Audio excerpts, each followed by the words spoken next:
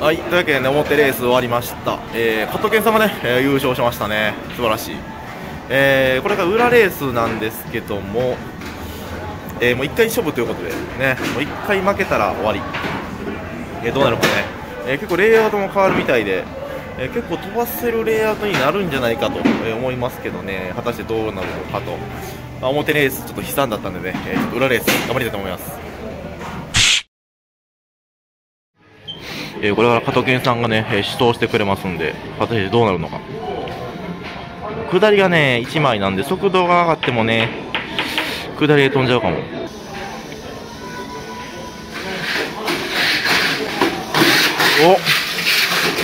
おわあまあ、そうやな。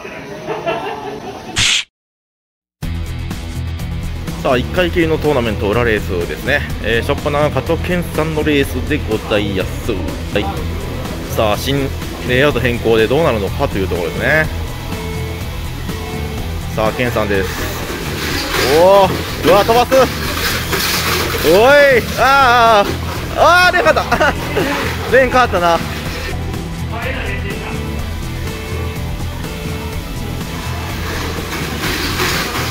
うわうわーと開いた。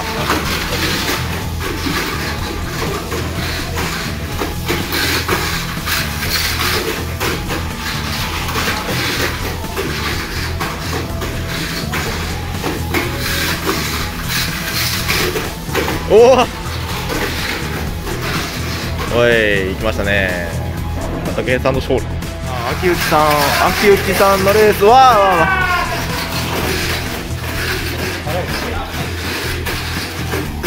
あこれぐらいがいいんじゃない？まずうわ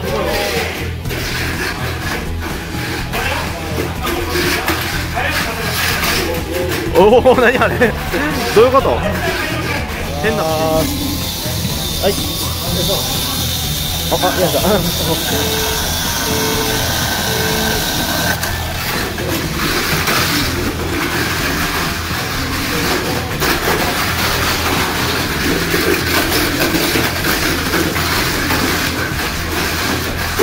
あ入れる。お。あーマジか。あ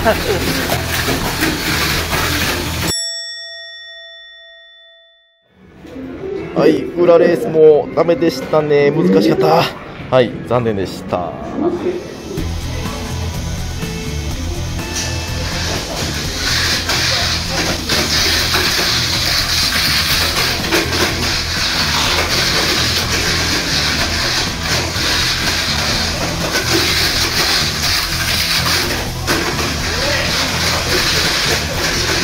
おっと？おっと？ああ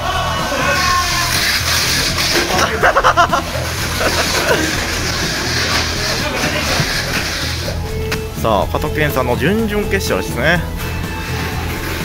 さあどうだろう？うわ速いな。うわ。うわ飛び越える。うわやべ。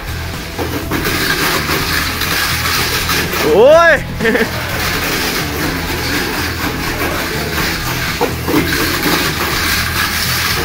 わあわ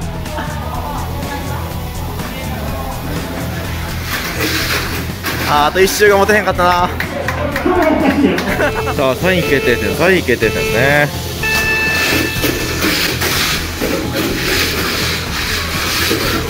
おおああ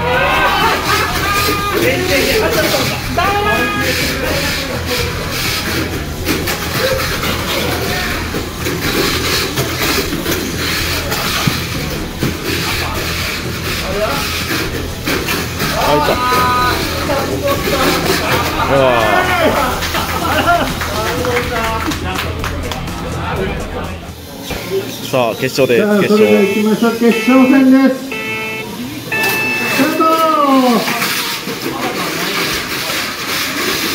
うわさあ、これは好スタートしてしまった中井選手、残念。さあ、残ってるのは友野選手。さあ、これでファイナルアップ突入。圧倒的な速度、安定感。うわ戻ってきて、勝ったのは友野選手、完璧やな。完璧や。素晴らしい。